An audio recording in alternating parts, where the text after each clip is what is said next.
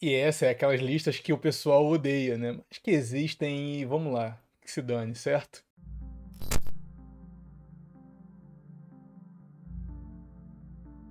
Primeiro ponto da lista das características de uma mulher de alto valor. Modéstia, né, senhores? Ela é atraente, mas não apelativa. Só aqui já cortou metade da população feminina usuária de Instagram, certo? O que acontece aqui, senhores? Essa é o tipo de mulher que ela sabe da sua beleza, olha só, mas ela escolhe sinalizar para a sociedade e para o social características mais internas, mais intrínsecas a ela. A sua beleza está então na sutileza. Né? A sua presença ela não é pornográfica, é uma beleza sugestiva, é uma presença sugestiva. Por quê? Uma mulher que ela é bonita, ela é bonita e ponto. Agora, quando você maximiza isso para tornar-se uma presença pornográfica nos feeds, nas redes sociais, isso significa que você está sinalizando para o todo que você é um, um ente, um ser vazio. Porque aquilo que tem valor por si mesmo não precisa se evidenciar. A questão é como eu vou me colocar nessa sociedade, no social, nas redes e tudo mais. É esse o ponto. Então, quando uma mulher não consegue se colocar, até mesmo, até mesmo, na forma como ela se veste, isso também é uma forma dela conscientemente escolher o que ela quer que os outros valorizem nela quando batem os olhos nela. Por quais vias eu quero chamar a atenção? A roupa e o guarda-roupa não caem no céu de uma mulher, nem de um homem. Certo? Nós escolhemos conscientemente a forma como queremos ser vistos na sociedade. E a roupa é uma delas. O penteado, os acessórios, jeito de falar. Então, até mesmo a roupa, a forma como se expressa, as palavras que escolhe, as fotos que escolhe, é o que ela quer que você valorize nela, mesmo que foi inconscientemente. Então esse papo de que, ah não, eu postei porque eu gosto de mim mesma, porque eu quero, não sei o quê, isso é uma conversa que não concerne nossa espaço Red Pill. Por quê? Uma mulher que vive, que ela tem uma vida, ela tem os seus prazeres, ela não vai pensar em apenas se evidenciar pela beleza dela. Ela vai postar uma foto seminua ou com micro enfim, vestes, para evidenciar aquilo, porque ela tem coisas mais interessantes para evidenciar. Ela já é bonita, o que, que ela quer além disso? Eu sei, eu, beleza, eu tenho essa, essa beleza que é inerente a mim mesma. E eu sei evidenciar isso de forma sutil. É esse discernimento de uma mulher que possui dentro de si o emocional estável que um homem red pill deve buscar numa mulher. Então, evidenciar apenas a beleza, a sexualidade de forma pornográfica é um sintoma de que essa é um tipo de mulher que possui fantasmas complicados na própria cabeça a se resolver antes de buscar um relacionamento. Então, o que ela precisa é de um terapeuta, não de um namorado. Ela tem que se resolver consigo mesmo antes de buscar alguém. Isso se conseguir se resolver, mas esse é outro ponto. Então, quando a mulher ela é bela, mas não é apelativa, é um sinal positivo de que ela possui a mais do que mostrar. Então, se uma mulher no feed de notícias dela, e o Instagram é isso, pessoal, Facebook, Instagram, enfim, né? para quem ainda usa Facebook, né? O Instagram, o TikTok, enfim.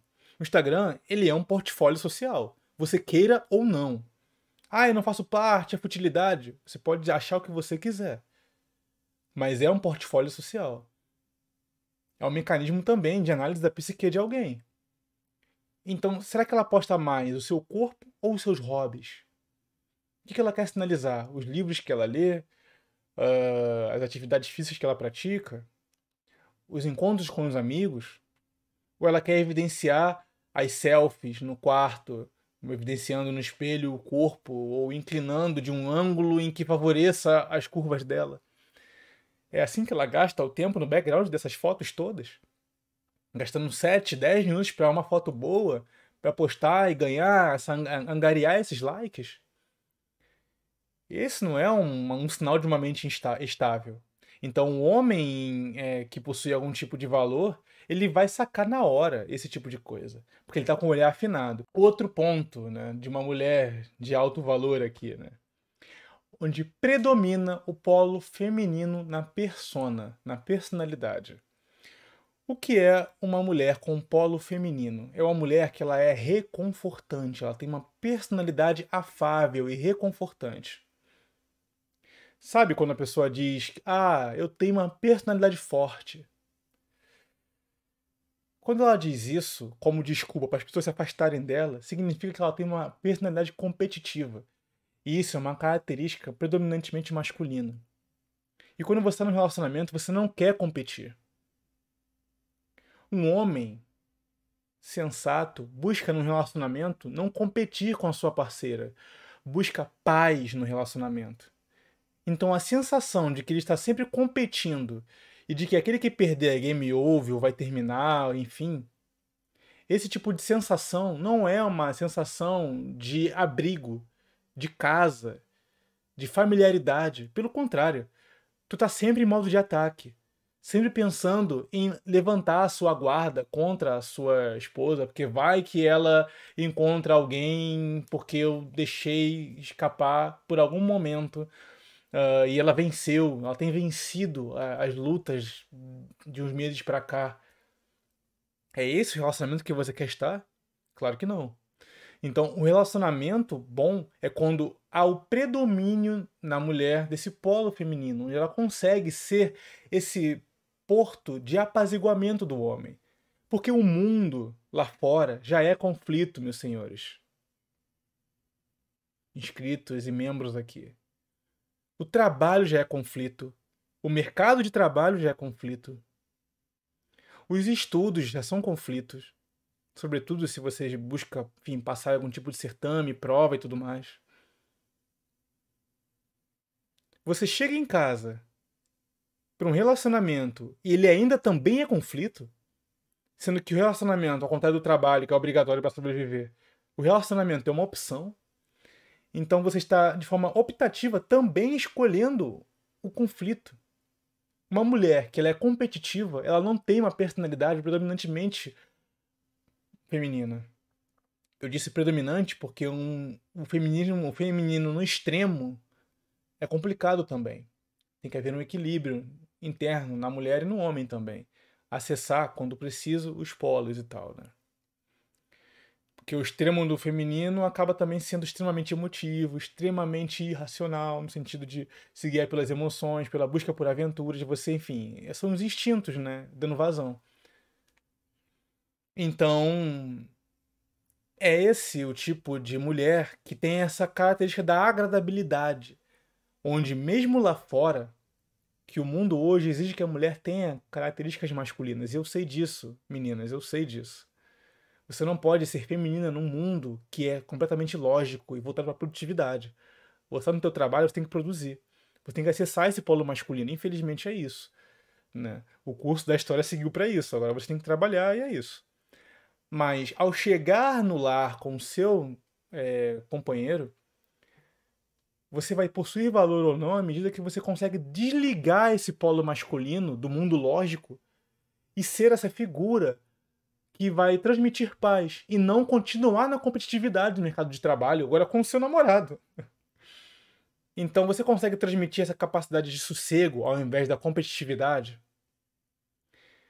Porque isso seria sinais de uma mulher masculinizada, e isso é péssimo no relacionamento a longo prazo. A gente pode debater, mas é difícil achar que deve haver dois polos no mesmo relacionamento na intimidade, né? E aí vem então outro ponto da mulher de alto valor, né? Que é a mulher justa. Eu já disse isso num vídeo separado, mas eu coloquei aqui porque é a linha do nosso espaço aqui, certo? A mulher justa é a mulher que tem como características a disciplina e o discernimento, porque ela sugere que ela possui a característica de uma mulher que consegue usar a razão para controlar os seus instintos. Ou seja, a hipergamia, que é natural da mulher, e a poligamia, e a poligamia, que é natural do homem, é através da razão que você controla esses instintos que são negativos para a vida estável. O homem poligâmico vai ser infiel com a mulher, mesmo se ela for de valor. E a hipergamia vai ser prejudicial à mulher se ela acabar, mesmo no relacionamento fixo, ficar sempre buscando homens melhores, ao invés de investir na relação que tem. Então, entre poligamia e hipergamia, a mulher justa é a mulher que possui essa disciplina de usar a razão para subjugar esses instintos, assim como nós homens na, nessa comunidade aqui usamos a razão para manter-nos com uma fidelidade. Afinal de contas, nós só podemos exigir da mulher que ela seja de valor se nós somos esses homens que estamos desenvolvendo valor também. Isso aqui não é um canal para desenvolver homens hipócritas. Você não pode ser um homem que está à mercê dos seus instintos e esperar uma mulher que seja completamente sã em relação ao controle da sua hipergamia. Você controla de cá a sua poligamia e ela a hipergamia. Você mantém a tua mente centrada e ela também. Então ela consegue controlar a hipergamia e dar valor a características que não são aquelas que respondem aos instintos dela, que é poder e emoções fortes. Ela valoriza a personalidade, aquilo que você é, que diferencia você dos outros homens. Ela consegue enxergar preciosidade na sua personalidade, portanto sabe que você é uma pessoa insubstituível em vários pontos e que o dinheiro e a fama são coisas que vêm e vão, que podem ser trabalhadas dentro do relacionamento. É esse o ponto. Certo? Então, mesmo as, essa sensação de poder que a mulher gosta de ter, né, por quando está ligada puramente aos seus instintos, quando controlada pelo discernimento, ela dá uma baixada. Assim como nós aqui não somos os cafas, ou não pretendemos ser os cafas que ficam mudando de mulher de mulher para mulher, manipulando várias, um contatinho no WhatsApp, né? Certo? Você só pode exigir uma mulher justa se você é um homem justo. Uma mulher justa, ela ainda vai ser exigente. Ela não vai simplesmente baixar sua hipergamia e anulá-la. Ela simplesmente vai contextualizar esse desejo por crescimento na vida e vai entender se é justo ela exigir aquilo de você em determinado contexto. Vamos supor. Vamos supor que vocês querem, vocês é, têm ambições de ganhar tal faixa de dinheiro para melhorarem padrão de vida e ter uma vida mais confortável como casal. E claro, ela também ela vai exigir isso. Mas a forma é como ela exige isso. Em qual fase da vida ela exige isso? Ele exige que vocês dois desenvolvam-se. Ou que você, por exemplo, comece a melhorar de emprego. Ou comece um curso para mudar e ter mais aptidão e tudo mais. Ou crescer como homem para que você é, se desenvolva e por tabela ela se desenvolver. Né? E aí vocês terem uma vida melhor juntos ela consegue contextualizar essa exigência dela ou ela apenas exige e ponto final? Ela coloca outras coisas na fórmula ou são apenas os desejos egoístas dela? Ela, cara, não posso disso agora porque ele ainda está cursando na faculdade, eu também. A gente já está morando na casa dos pais, a gente já está com uma renda muito baixa ainda, mas vamos progredindo ao longo do tempo. Ela consegue pensar no relacionamento de fato como algo a ser investido em vários sentidos?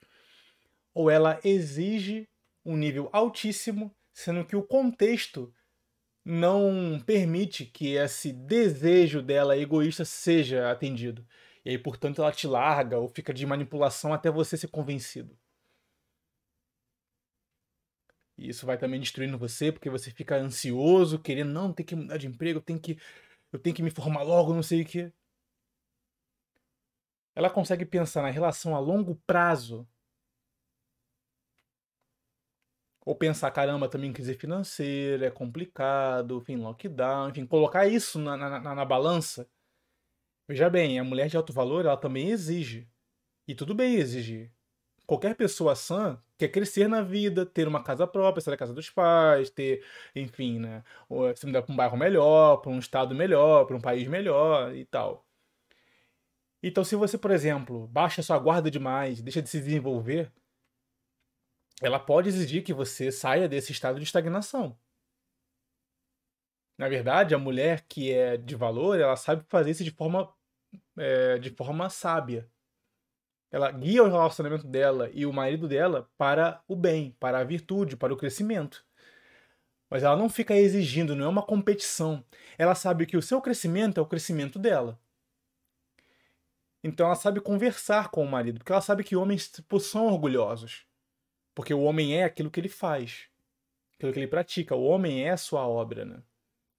Então, ao invés dela atacar com deboche, ah, esse emprego horrível que você tá aí há vários anos e tudo mais, ah, você não se aprimora, tu não estuda, ah, cara idiota e tal, escolhi o cara errado, lança essas, né? Não. Cara, é um homem com muito potencial. Por que, que você também não ajuda ele a descobrir esse potencial ou a melhorar, né? Uma mulher boa, muitas vezes, entusiasma o homem a ser um homem melhor. Agora, usar shaming, manipulação, um dos problemas masculinos é a comodidade. O homem que sai do modo de caça, digamos assim, ele realmente fica no conforto.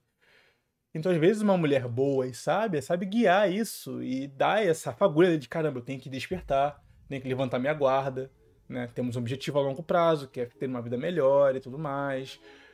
Parar de ficar batendo muito cabeça na, na, na vida, né?